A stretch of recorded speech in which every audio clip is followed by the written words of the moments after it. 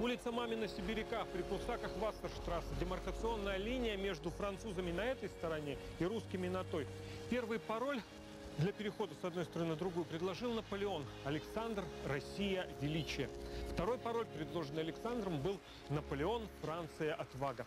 Обменивались и более внушительными комплиментами. Так, Александр получил орден почетного легиона, а Наполеона удостоили высшей награды России – ордена Андрея Первозванного. Только что за ничью с Наполеоном в битве при Пресси-Шейлау Андрея Первозванного получил российский главнокомандующий Бениксен. А теперь, по сути, национальным героем России объявили заклятого врага, ставшего заклятым другом. Наполеон, кроме царя, наградил орденом почетного легиона еще четырех русских, но не предложенного ему Бениксена, намекая на участие того в заговоре против Павла I. Наполеон позднее в мемуарах. Было противно, что сын просит награду для убийцы своего отца. Александр намек понял, но блестящий лицемер, он, жертвуя самолюбием, продолжает играть роль очарованного гением. Настоящее примирение между ними невозможно, но оба императора делают вид, что верят в прочность своего союза. Улица Гагарина, 6. Сейчас здесь лучший хозяйственный магазин города Советска, а в 1807 году дом занимал император Всероссийский Александр.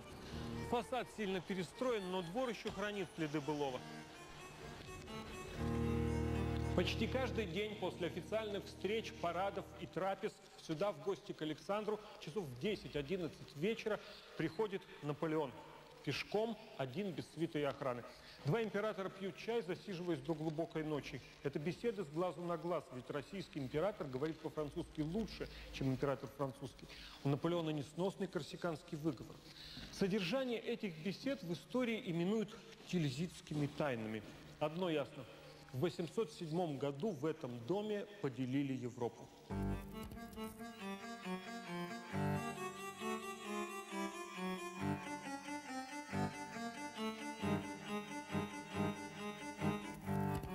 Россия признает завоевание Наполеона, а его самого императором и присоединяется к континентальной блокаде Англии.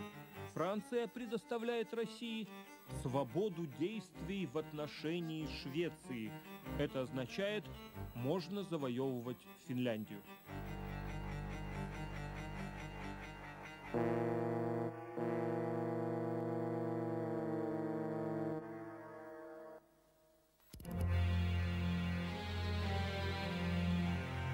Отодвинуть границу от Санкт-Петербурга мечтали давно, а Швеция самый традиционный соперник на севере. Воюем с ней со времен Александра Невского.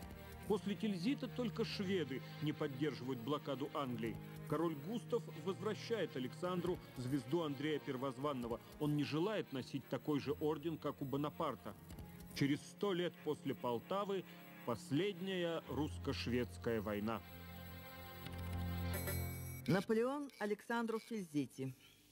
Швеция – ваш враг уже в силу географического положения. Пользуясь случаем, Александр объявляет о присоединении к России Финляндии, восточной и южной частей шведского королевства. Армия легко переходит границу, неприятель отступает почти без боев.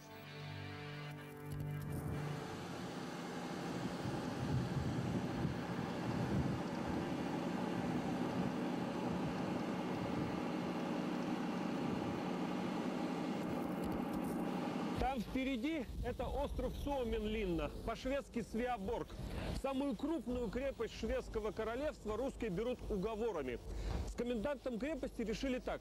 Если к определенной дате не приходит на помощь шведский флот, то крепость сдается. Флот на подмогу не пришел. Крепость сдалась. С гарнизона взяли честное слово, что они больше не будут участвовать в боевых действиях. И с тем распустили по домам.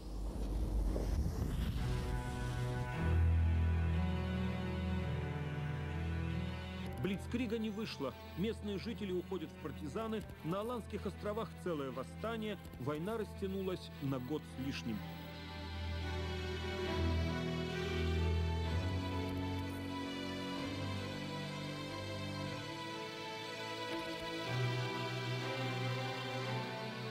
Самый известный эпизод войны – это, конечно, марш-бросок русских войск по льду Ботнического залива и их вторжение уже, собственно, в Швецию. Хотя были опасения, что лед не выдержит. Но Багратион говорит прибывшему из Петербурга военному министру Аракчееву, «Коли будет приказ, пойдем». Приказ был дан. Генерал Кульнев доходит до Гриссельгама, Барклай де Толли до Умео.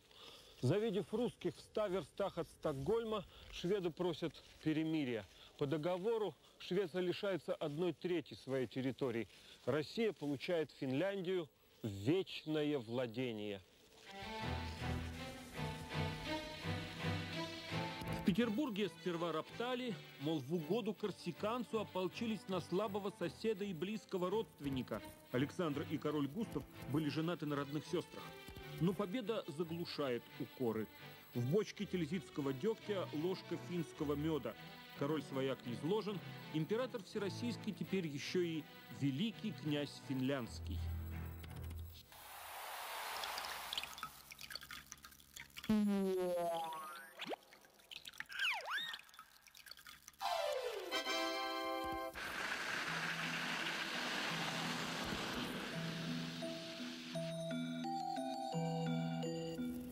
Городок Порво. Но русские используют не финские, а шведские названия, которые таким образом достаются от одной метрополии другой метрополии.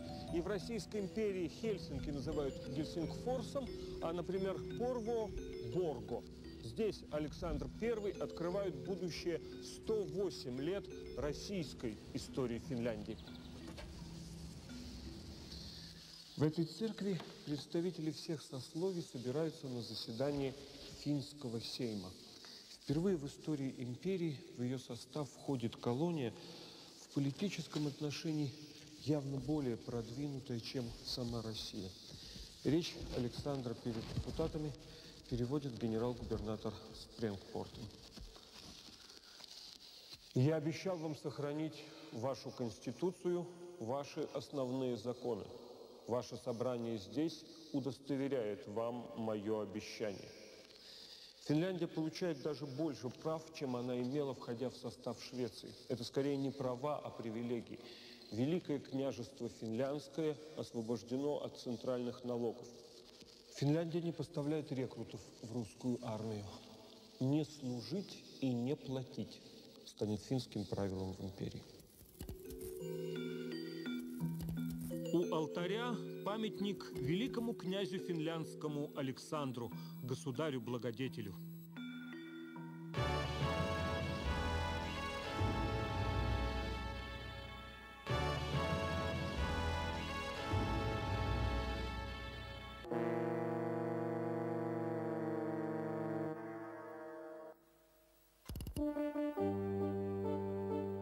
Англичане – главные торговые партнеры России. И после присоединения Александра к наполеоновской блокаде Англии курс рубля упал на 50%. Ропщет униженная поражениями армия, высшее дворянство возмущено союзом с корсиканским выскочкой. Александру даже намекают на возможность повторения участи отца. Но царь держит удар, ему нужно выиграть время. Через год после Тильзита Наполеон предлагает новую личную встречу. Александр соглашается.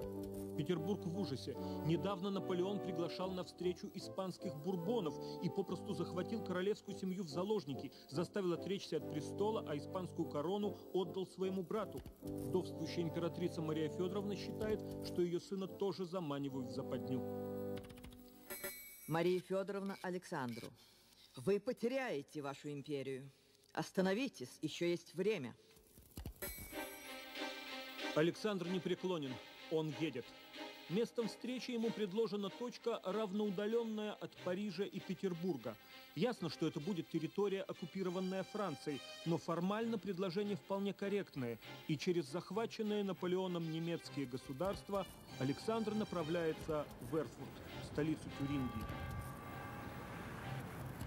Большой зал Эрфуртского дворца в честь встречи Наполеона и Александра теперь называют императорским.